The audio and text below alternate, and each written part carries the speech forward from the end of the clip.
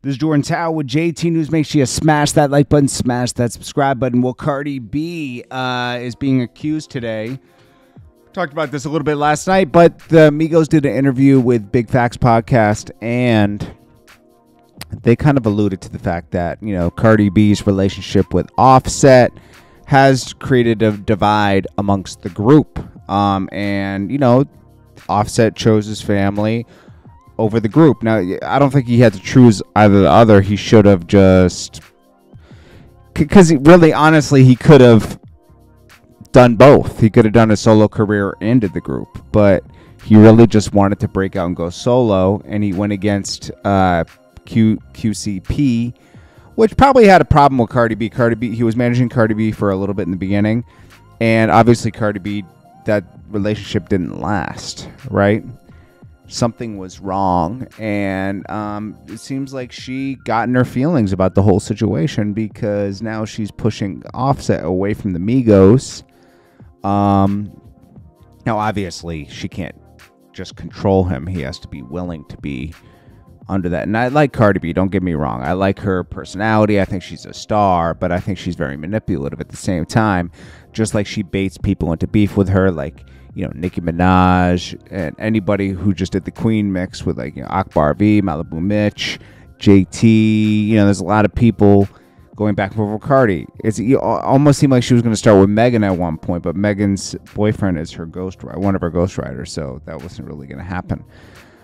Um, so, anyways, Migos are up there saying that you know they're more of a duo now. Uh, we've seen Offset and uh, QCP go back and forth online.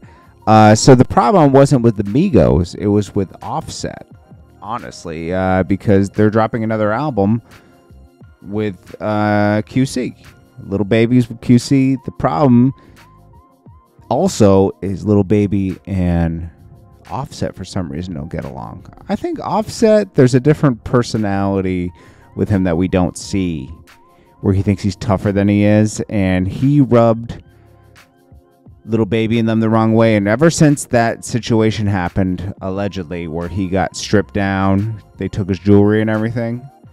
Um, things haven't been the same. You know, uh, they took his manhood in a sense, you know, with that, you know, and he wasn't able to recover.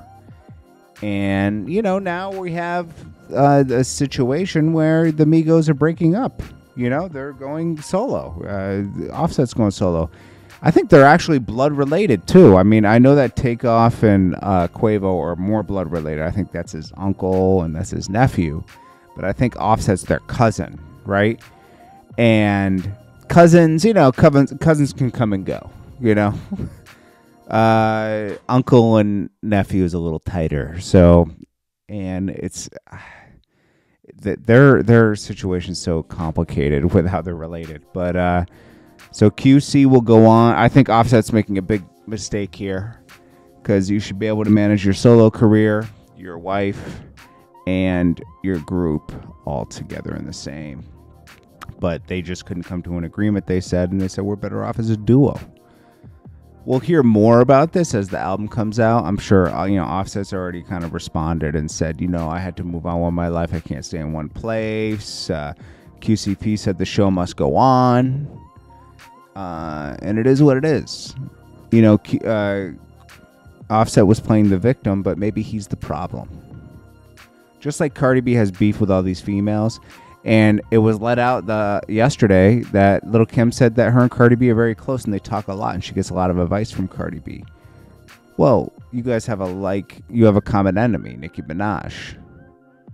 This all makes like sense, you know? It's like it's very manipulative. Uh it comes with power. Did we think this was any different? Cardi B is a star.